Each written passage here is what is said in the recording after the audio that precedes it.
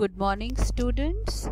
Today we are starting with our ESL class. In the last class I had introduced you the topic of rhyming words. Today also we will be continuing with the same. Now students you are not having your ESL textbooks as it is not yet available. So I am starting with uh, these videos so that you can practice. These videos will help you to improve your English skills and you can uh, practice along with these videos. So we had done rhyming words. Let us continue with the same. Now again, what are rhyming words? Rhyming words are the words that sound similar. They have the same syllable. Their sound is similar. When you hear them, they will sound very similar but their meanings are different.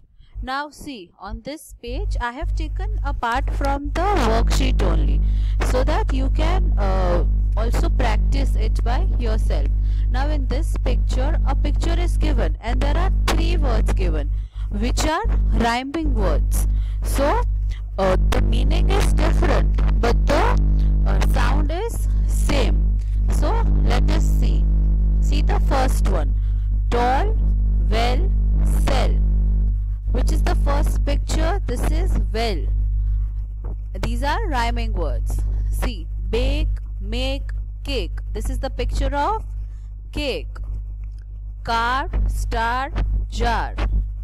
This is the picture of car. Duck, truck, luck. Now I had told you that the rhyming words sound similar. See the last part of the word sounds similar. Only the first part that is the first alphabet will change. See last is UCK. In all these three the pronunciation is uck. Now see duck, truck, luck. Similarly see here can, fan, pan. Look, book, cook. This is the picture of book. Then boat, coat and goat. This is the picture of a boat. Log, hog, dog. This is the picture of a dog. Top, hop, mop. This is the picture of top. Dry, cry, fly. This is the picture of cry. A baby is crying in this picture.